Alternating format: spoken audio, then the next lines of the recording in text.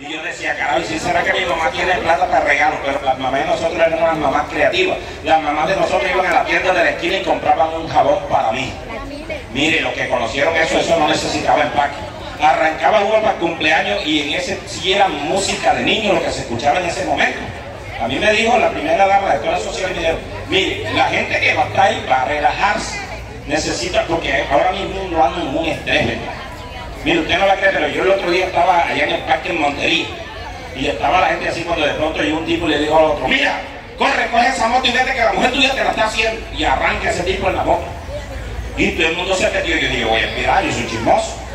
A poquito al rato apareció el tipo y me dijo, llame, no sé qué me pasó, porque yo ni tengo mujer ni se maneja moto. Porque, porque anda en un estrés. Se le dijo, la idea es que la gente que esté ahí pase un rato chévere. Entonces yo hablé con una amiga mía que es psicóloga, me dijo, haz una risoterapia. Y dije, ¿esa vaina qué es? No, que la gente entre en un estado como de plenitud.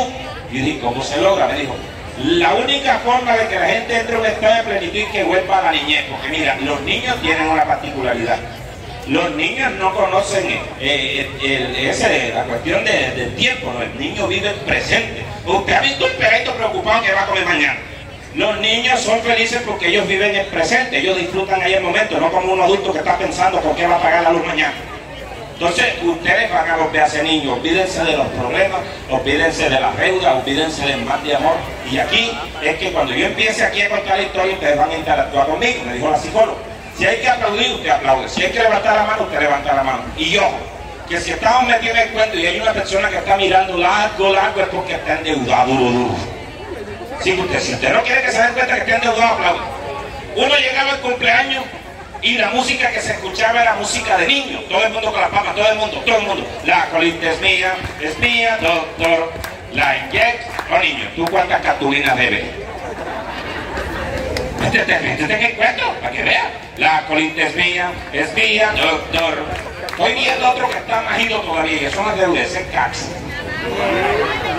La colita es mía, es mía, doctor. La inyección. Y los niños bailaban decente. Usted veía los cumpleaños y los peletos bailaban en qué.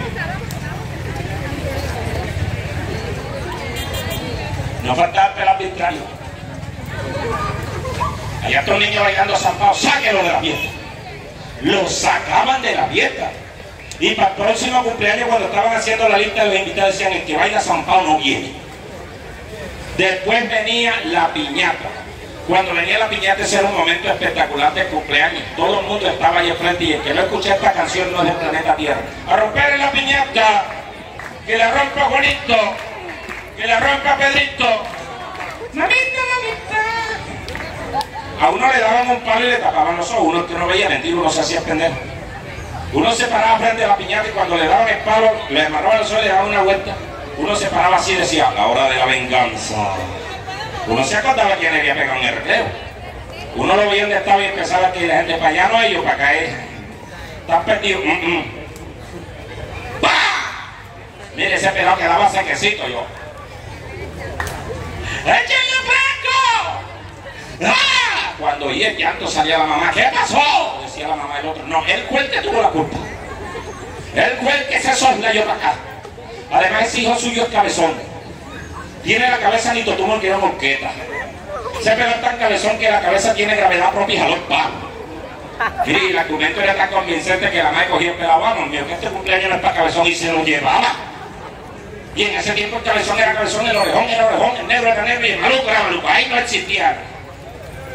Ahora la, la, generación de cristal que no, a mí no me pueden llamar negro. Yo creo que aquel le dicen el negro, ah, no es negro. pues sí, se lo llevaban. Después cuando rompían la piñata, ¡pra! mire, rompían la piñata y se tiraba todo el mundo. ¡Ah! Yo digo se tiraban, yo no me tiraba porque yo era miedoso. Existen dos clases de personas en el mundo, las personas valientes y las personas miedosas. Levante la mano las personas valientes aquí. El amigo se levantó la mano sin mirar para ninguna parte. Nosotros primero miramos. Esas personas como el amigo que son valientes son esas personas que cuando nacieron le preguntaban a la mamá. Y el niño durmió toda la noche. Se tomó un tetero a las 7, despertó a las 3, se tomó otro y todavía está dormido y era a las 10 de la mañana. Mire, esa gente no le tiene miedo a nada, esa gente es la que se tira de un parapente, esa gente es la que para la moto, esa gente sube montaña rusa, esa gente son las que se está estrellando el avión, todo el mundo rezando y ellos grabando. En cambio, las personas como yo y muchos de los que están aquí, que somos miedosos, son esas personas que cuando estaban chiquitos le preguntaban a la mamá, ¿y el niño? Y la mamá, trasnochaste. No durmió nadita. Le eché una gota de vino en el tetero, nada. Le puse dormidera debajo de la almohada, nada. Lo embaturbé de poco, nada. Lo bañé con agua tibia, nada. Estaba aquí ahogado, desgraciado. ¿Y por qué somos miedosos? Porque como no podíamos dormir, nos metían en una hamaca y aquí en el Caribe colombiano nos traumatizaron con una canción de cuna. Porque nos metían en la hamaca y empezaban que, duérmete niño, duérmete ya, que viene la zorra y te comerá. ¿Quién diablo se va a dormir sabiendo que se lo va a comer una zorra? Y la canción seguía diciendo, zorra pelúa, zorra pelúa, dos zorras. Mire, uno era un bebecito, pero uno decía, yo no me duermo ni para carajo. Para acabar regala que ponían a dormir uno le decían a la muchacha, hasta que no duermas al niño no te vas para la fiesta. Y esa mujer guapa, ¡Que me quiero dormir! Y uno duerme, tú no me oñes. Uno creció con ese miedo a la zorra. Uno estaba chiquitito y le decía, que viene la zorra y uno, ¡ay, ay, ay! Uno ya era un adolescente y le tenía miedo a la zorra, ya grandecito. Yo no sé a quién diablo se le ocurrió en los pueblos hacer baño a dos cuadras en el patio. Y uno hacía en la noche con ganas de orinar y decía al primito que vamos a miar. Y el primito, vacio. Uno llegó ya grande y le tenía miedo a la zorra. Uno estaba jugando fútbol y le decían, como botes el pene, te come la zorra. Y eso era preciso. ¡Gol! Yo creo que todos esos jugadores buenos que le tienen miedo a la zorra porque los amenazan. Y esta confesión la voy a hacer a nombre de los hombres. Mujeres, uno llegó a la edad adulta y le sigue teniendo miedo a la zorra. Afortunadamente cuando uno se casa se libera de ese trauma, se lo pasa a la mujer. Comprobado. ¿Ustedes no ven que la mujer de uno anda con miedo de que uno se lo come una zorra en la calle? Rompían la piñata, ¡plá! todo el mundo se tiraba y me empujaba y mamá, ¿quién es un guayano? Yo caía boteado. Eso me pisaba la costilla, me rafaba la nariz, me paraba yo con un compitito que... Decía mi mamá, era, mira lo que cogió la porquería. Yo he visto muerte en lo que donde llegó el hijo mío mejor dicho. Por eso cuando en el colegio me hacían bullying, eso a mí me reparaba y yo iba curado de la casa. Después venía el payaso. El payaso era el centro de la fiesta. Todo el mundo no tenía papayaso, el que tenía papayaso era estrato 3. Habían papás que se las querían tirar de rico y se disfrazaban de payaso y la embarraban porque asustaban de los pelados. Pero el verdadero payaso, si recuerden que estamos en la risoterapia, ustedes son los niños. El verdadero payaso abría así la cortina y veía esa cara llena de felicidad, todo el mundo así. Verdadero payaso abría la cortina y veía esa cara llena de felicidad. Y decía, ¿dónde están los niños? Cuando yo digo, ¿dónde están los niños? Todo el mundo va a gritar, ¡aquí! Salía el payaso y decía, ¿dónde están los niños? Yo soy el payaso Valetí. Que eso cogían, lo abrazaban, eso era una fiesta espectacular. Vaya usted hoy día a un cumpleaños de niño, era el primer. De entrada, al niño lo mandan con la muchacha porque la mamá está ocupada. Un desfile de regalos caros, los peladitos guapos. Mm. Juan David, compórtate. ¡Ah, paputa! Se lo voy a decir a la señora. Y el otro peladito. Mm, mm, Mi amor, ¿qué tienes? Mi amor, ¿tú por qué no quieres estar en esta fiesta? Porque en esta casa no hay wifi, mira qué belleza. No, porque espera, ahora desde que nace le dan el celular. Está comiendo y está con el celular. Va por la calle y va con el celular caminando buscando que lo mate una moto.